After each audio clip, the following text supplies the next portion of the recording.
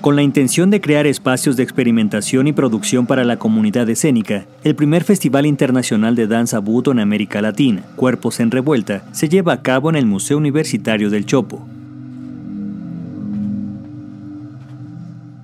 Desde el 31 de marzo y hasta el 14 de abril, los visitantes tendrán la oportunidad de acercarse a la cultura japonesa a través de talleres, conferencias y funciones artísticas. El encuentro organizado por el Laboratorio Escénico Danza Teatro Ritual y el Museo Universitario del Chopo tendrá la presencia de los artistas japoneses Hiroko y Koichi Tamano, Yukio Suzuki y Komotaro Mukai. Además, como un homenaje por los 30 años de la muerte del coreógrafo japonés Satsumi Hijikata, la exposición El Butó de Ijikata, Teatro en el Cuerpo, muestra la herencia del fundador de la danza Buto. Con información de Juan Carlos Castellanos e imágenes de Ana Alvarado, Notimex.